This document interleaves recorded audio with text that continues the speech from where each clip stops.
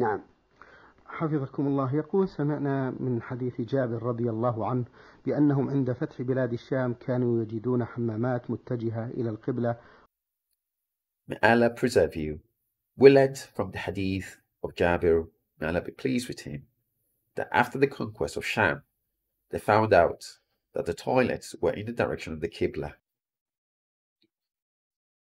قال فكنا ننحرف عنها ونستغفر الله فهل لا يجوز استقبال القبلة عند التخلي حتى وإن كان ذلك في البيوت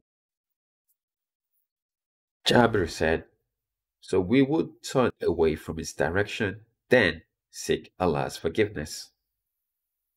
Based on this, is it impermissible to sit in the direction of the Qibla whilst relieving oneself, even if this is in the building? ثم ماذا عن حديث ابن عمر ورؤيته للنبي صلى الله عليه وسلم وهو يتخلى في الفضاء مستقبل القبلة In addition, how do we reconcile the hadith of Ibn Umar, who saw the Messenger, peace be upon him, relieve himself whilst facing the direction of the Qibla? أما قوله في الأول حديث جابر أنهم قدموا الشام فوجدوا مراحيض قد بنيت نحو الكعبة فليس الحديث لجابر رضي الله عنه بل هو لأبي أيوب الأنصاري Let's begin with his statement regarding the hadith of Jabir that when they came into Sham, they found out that the bath, the restrooms were built in the direction of the Kaaba. This is not the hadith of Jabir, may Allah be pleased with him.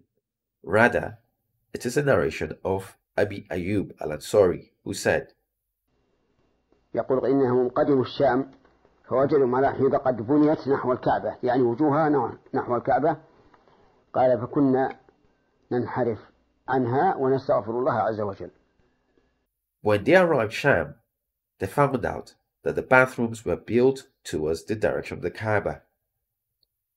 He said, So we would sit, turning away from its direction, and we would seek Allah's forgiveness. وأبو أيوب هو الذي روى عن النبي صلى الله عليه وعلى آله وسلم أنه قال لا تستقبلوا القبلة بغائط ولا بول ولا تستدبروها ولكن شرقوا أو غربوا And it was Abu Ayyub who reported from the Prophet, peace be upon him, that do not urinate nor relieve yourself while facing the direction of the Qibla, nor should you do so with your backs towards its direction. You should, however, face the east or the west. وأما حديث ابن عمر فإنه كان يقول رقيت يوما على بيت حفصة فرأيت النبي صلى الله عليه وعلى آله وسلم يقضي حاجته مستقبل الشام مستدبر الكعبة Now, as for the hadith of Ibn Umar, he said, One day I climbed onto the house of Hafsa, and I saw the Prophet, peace be upon him, relieving himself, facing the direction of Sham, and his back was facing the direction of the Kaaba.